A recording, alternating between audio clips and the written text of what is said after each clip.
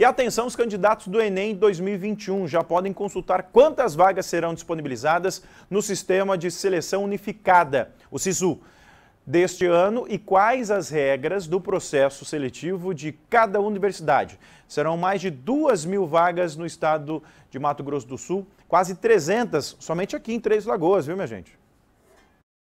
Os estudantes que prestaram o Enem no ano passado têm agora a oportunidade de iniciar o tão sonhado curso de ensino superior por meio do SISU, o Sistema de Seleção Unificada.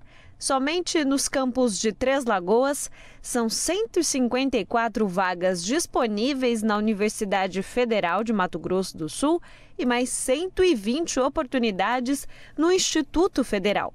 Juntas, elas totalizam 274 vagas para os cursos de todas as áreas, desde humanas, com cursos de letras e pedagogia, passando pelas ciências exatas, como engenharia de produção e de computação, a área de biológicas, com os cursos de enfermagem e medicina.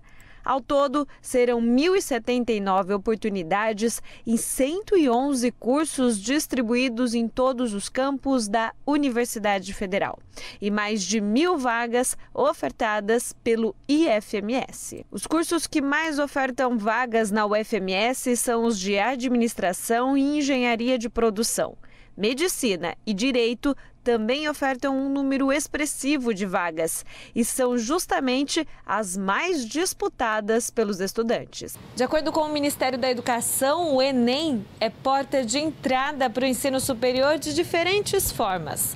As vagas para as universidades públicas são por meio do SISU.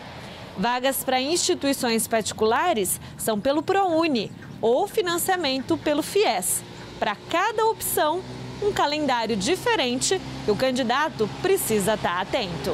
As inscrições do SISU abrem somente no dia 15, do ProUni no dia 22 e em março para o FIES a partir do dia 8. Para concorrer a uma vaga por meio do SISU, é preciso ter feito o Enem de 2021, ter obtido nota maior que zero na redação.